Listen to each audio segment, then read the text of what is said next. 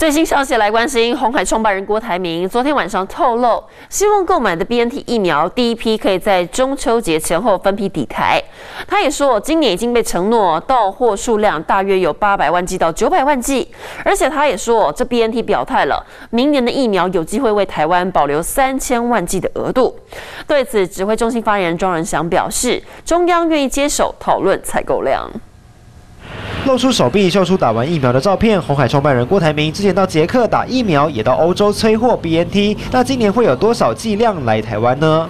郭台铭二十九号深夜在脸书发文，透露今年已经被承诺 BNT 到货数量大约是八百万剂到九百万剂。他也向 BNT 表达意愿，盼能在明年为台湾保留三千万剂额度的疫苗。郭台铭说，目前获得对方很不错的回应。郭台铭表示，希望疫苗能在九月中秋节前后开始分批抵达，期待至少在十一月前每星期都有七十到八十万剂 BNT 来台湾，让各年龄层都能施打。指挥中心过去强调，今年度国内疫苗政策以扩大第一剂含概率为目标，但明年策略。势必转换成增加施打第二剂人口，甚至是第三剂，避免疫苗货量吃紧将成为关键。对于 BNT 可能保留台湾三千万剂，指挥中心发言人庄仁祥表示，未来国内将有许多接种 BNT 的人，如果要打第三剂，在专家还没建议开放混打前打 BNT 的，还是只能接种同厂牌疫苗。今年的 BNT 疫苗是由台积电、红海永龄基金会和死记购买的一千五百万剂。庄仁祥说明年的费用和货量，中央都愿意接手和 BNT 讨论，不论什么管道，只期盼救命疫苗尽快。底台让疫苗涵盖率早日超过六成，达到群体免疫的目标。